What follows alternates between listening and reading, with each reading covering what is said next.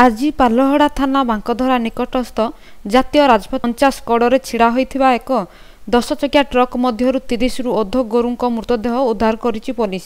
ସମସ୍ତ ଗୋରୁ ଟ୍ରକ୍ରେ ବନ୍ଧା ହୋଇ ରହିଥିବା ବେଳେ ଟ୍ରକ୍ ଚାଳକ ଏବଂ ହେଲ୍ପର ଫେରାର ଥିବା ଜଣାପଡ଼ିଛି। ଅନ୍ୟପଟେ ଗୋରୁଗୁଡ଼ିକୁ ଚୋରାଚାଲାଣ ବେଳେ ସମସ୍ତ ଗୋରୁ ଶ୍ୱାସରୁଦ୍ଧ ହୋଇ ମୃତ୍ୟୁବରଣ କରିଥିବା ଅନୁମାନ କରାଯାଇଛି।